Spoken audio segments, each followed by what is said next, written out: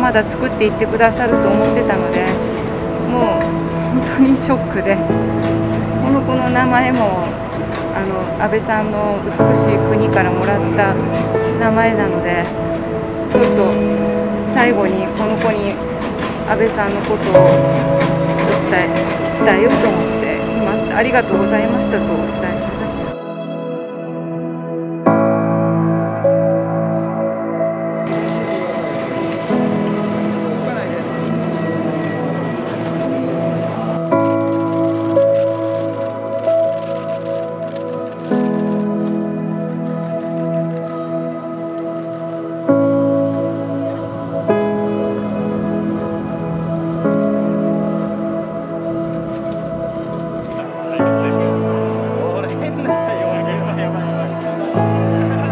よく選挙の演説今渋谷でやってるのを見て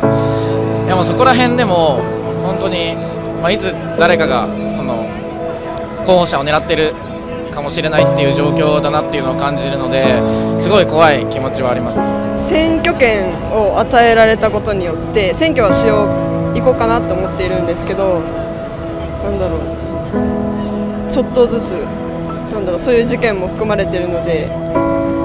行ったところでちょっとそういう人がいるのかもしれないなっていう不安は少しあります。